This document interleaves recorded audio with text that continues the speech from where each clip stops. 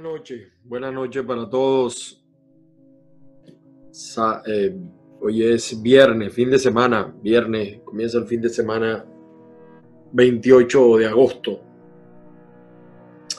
Quería, eh, no podía dejar pasar esta noche sin hacerles un comentario sobre los últimos acontecimientos.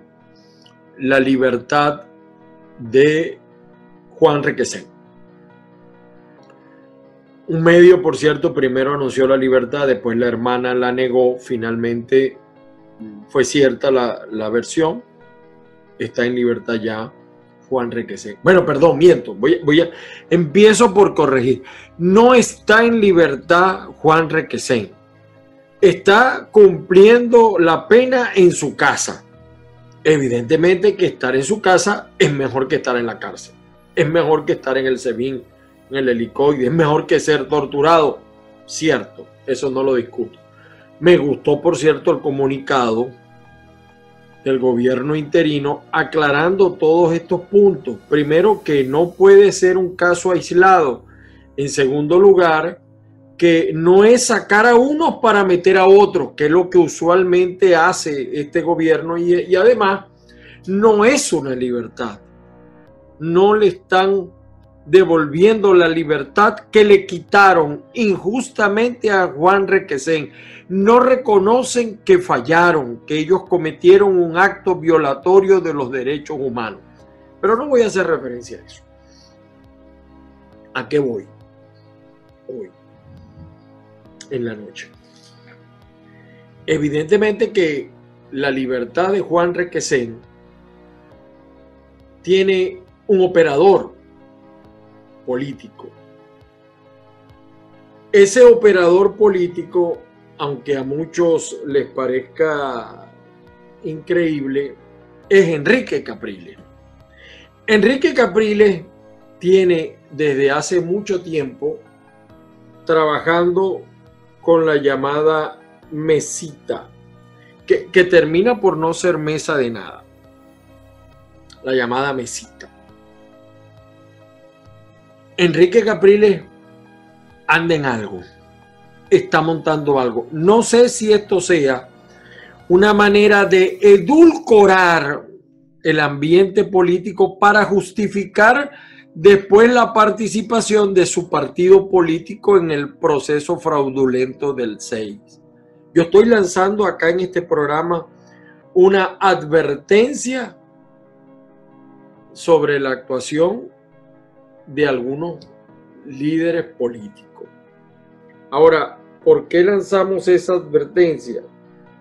Aclaro, lanzamos esa advertencia porque nos parece que el país debe estar discutiendo, eh, lejos de ir a celebrar la oposición, debiera discutir esta, entre comillas, libertad, que no es libertad y plantársele al gobierno que ilegalmente ocupa Nicolás Maduro, régimen, dictadura, como usted lo quiera denominar, y decirle las verdades.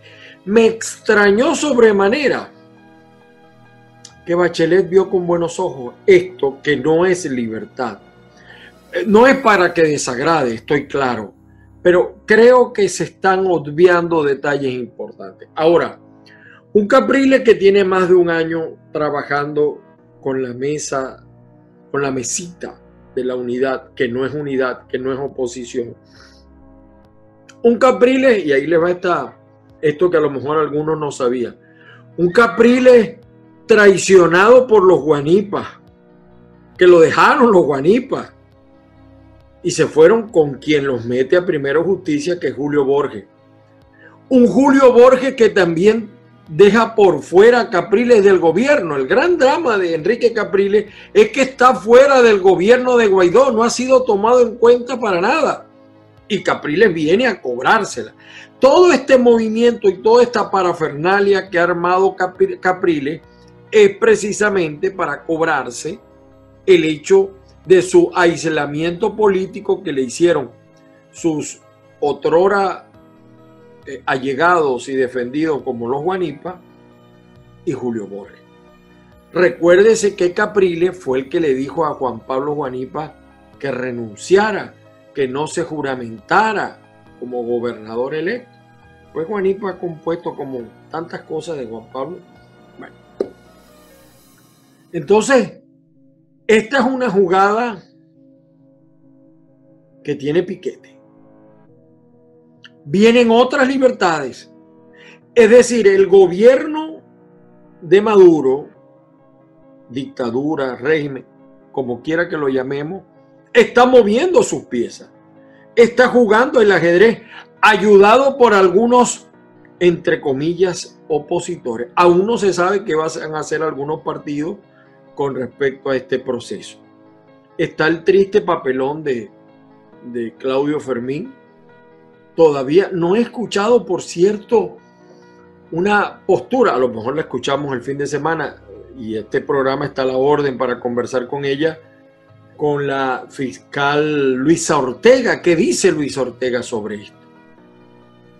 Pero lo cierto es que Capriles intenta nutrirse políticamente de este acto. Un Capriles que en el 2013, después de la rechera, imagínense ustedes, ¿cómo, cómo no vamos a estar nosotros como estamos cuando Capriles le quitan la presidencia, el pueblo salió en la calle, lo que está pasando en Bielorrusia, lo que pasó en Ucrania, aquí pasó. Y no hubo las esféricas, Capriles no tuvo las esféricas para salir a defender su triunfo. Mandó a la gente, esto que no se olvide, esto no puede olvidarse. Mandó a bailoterapia, chico, a la gente en lugar de salir a encabezar un gran movimiento nacional contra el fraude del 2013. No se hizo. Y hoy estamos como estamos, del 2013 a 2012. Puede ser que ya uno pierde la, memoria aquí de las cosas. Un hombre que después de la rechera la mandó a la gente a bailoterapia. Eso, eso es una discusión política. Capriles no me va a dar una entrevista a mí, ni loco. Y fíjese, yo estoy hablando con moral porque yo he reconocido algunas posturas de Capriles a posteriori sobre algunas fallas y errores de Juan Guaidó y de la oposición. O sea, puedo reconocer lo bueno, también tengo que hacer referencia a lo malo. Esta libertad de Juan Requesén, entre comillas libertad, en su casa, el pueblo entero de Venezuela la, de alguna manera la celebra. No, esto no lo, a mí no me hace ver a este gobierno con buenos ojos, porque ya metieron otro preso, exdiputado, por cierto, del chavismo. Y entonces vamos a esperar antes de hacer pronóstico.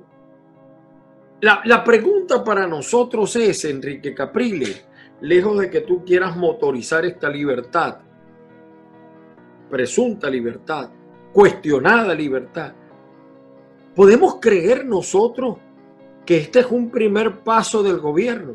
Que realmente el gobierno quiere recomponer el juego y dar garantía para un proceso a todas luces fraudulento como es el del 6 de diciembre.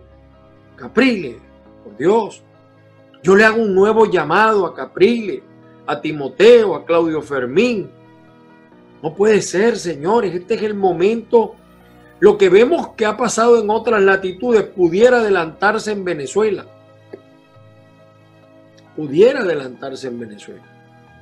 Y es triste, de verdad, cómo le hicieron perder a este hombre dos años de su vida. Y otros que están allí, Roberto Marrero, que nunca se ha dicho la verdad por qué la oposición, el mismo G4, ha sido tan débil en defender la libertad de Marrero.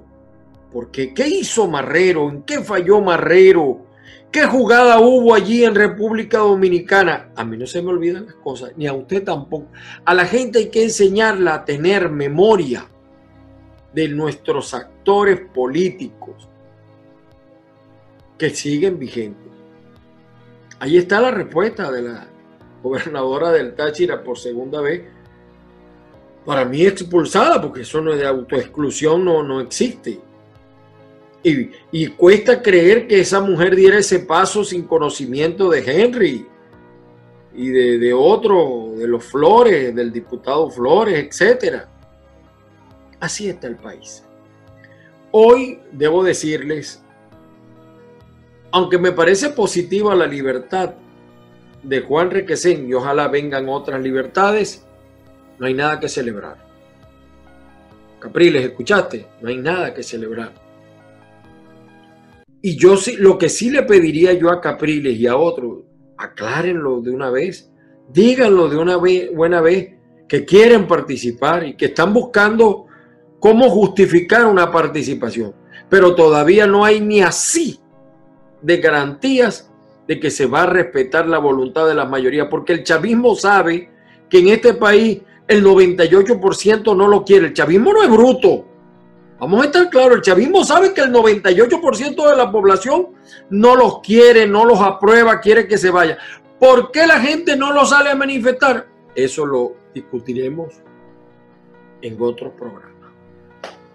Que pasen buenas noches. Seguiremos pendientes hasta donde podamos de todos estos acontecimientos. Saludos cósmicos donde quiera que se encuentren, las bendiciones del Padre Celestial y como siempre que la fuerza los acompañe durante este fin de semana. Buenas noches a todos.